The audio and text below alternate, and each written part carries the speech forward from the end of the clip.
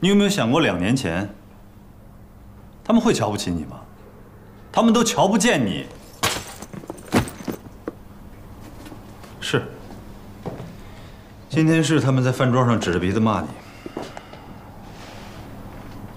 那是因为他们在怕你，是因为你让他们感受到了威胁，是因为你足够强大。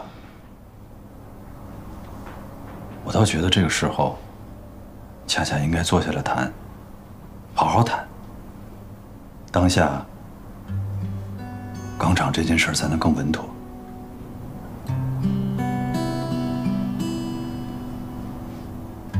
不是有那句话吗？生意场上，只有永远的利益，没有永远的敌人。当然，也没有永远的朋友。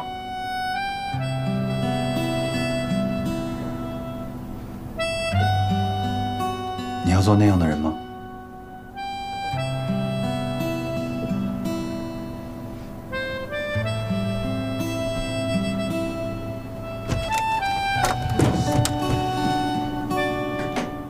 哪样的人？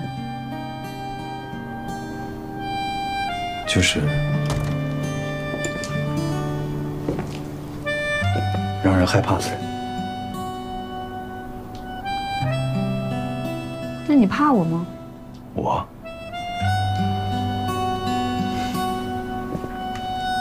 分时候吧。分时候。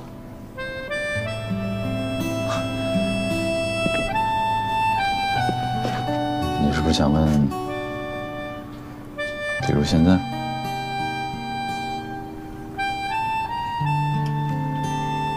对，我就是问你现在，现在怕我吗？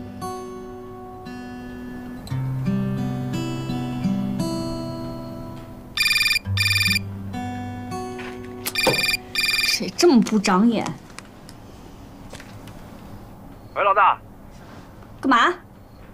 出事儿了，小陈被警察带走了，你赶紧找人问问怎么回事啊！